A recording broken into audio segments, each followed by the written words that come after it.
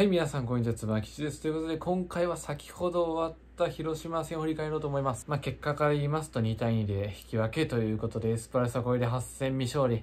まあ、ちょっと勝てない日々が続くんですが、ちょっと振り返ろうと思います。まあ、まず前半なんですけど、前半はもう正直言ってもほぼパーフェクトでしたね。もう先制点奪いましたし、あの、しかもゴール、サンタナ選手のゴール。あれ素晴らしかったですね。山原選手がクロス上げた瞬間にあの動きね。斜め入ると見せかけて後ろ。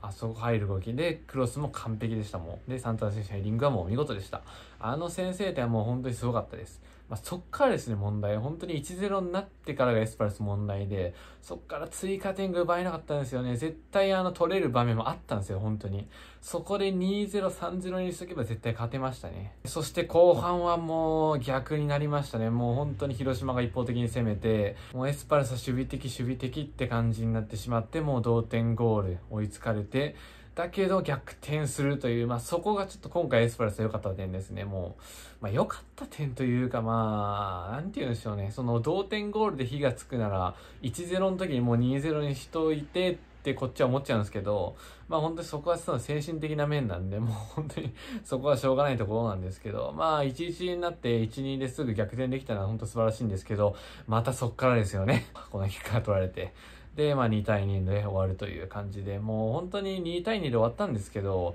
あわよくばあれ本当に逆転されててもおかしくなかったんで、本当試合運びがちょっとうまくいかないというか、なんか本当に、まあ本当に何回も言うんですけど、悪くはないんですよ。でも悪くはないじゃダメなんですよ、本当に。結果なんですよ、本当に。2対2で引き分けましたけど、この悪くはない結果にせよ、本当にもしかしたら逆転されてた可能性もありましたし、試合展開的に。だから本当に前半1-0で勝ってた時にもう2-0、3-0にする力、それはつけてほしいです。で、皆さん見ててなんかもう、あ、やべえ、これ同点追いつかれるな、みたいな雰囲気出てましたよね。なんか分かったよね。俺もなんか見ててなんか、あ、やべえ、これ絶対追いつかれるなって思ってましたし、それでまあ1日追いつかれて、まあすぐ逆転できたのは本当嬉しかったんですけど、まあそっからまた同じ展開みたいになって、なんかもうハイライトっていうかディプレイ見てるような、